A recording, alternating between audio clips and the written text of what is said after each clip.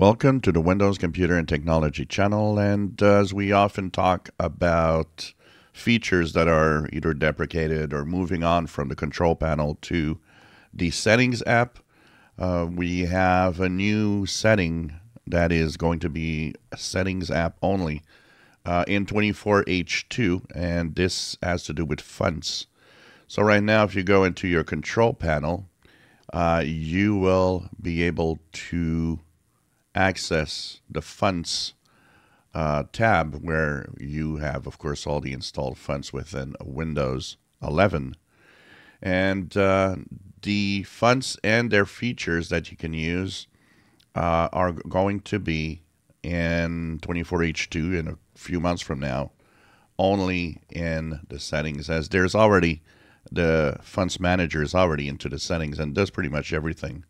So if you go into settings, personalization, and go down to fonts, this is where it's all going to happen starting with 24H2. Uh, another feature, we're moving on and being deprecated from the control panel itself.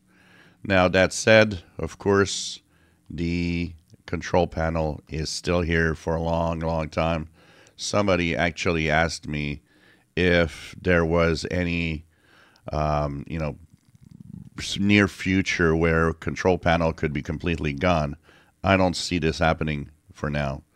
And yes, Microsoft wants to slowly push all of it to the settings app, but it it still is a long way off. There's still so many things that have to do with uh, the control panel. Another thing in 24H2, also the power options where you have uh, balance, performance, and all of that. This is also going to be eventually moved to the uh, the settings app where you'll have all the power options for laptop uh, and so on with all the power modes available in the power plans. So this is also going to be something that will be eventually um, a control a settings app only uh, setting um, maybe even in 24H2. So there are a few things here and there. They are working on it, and uh, slowly things are moving on to the settings panel.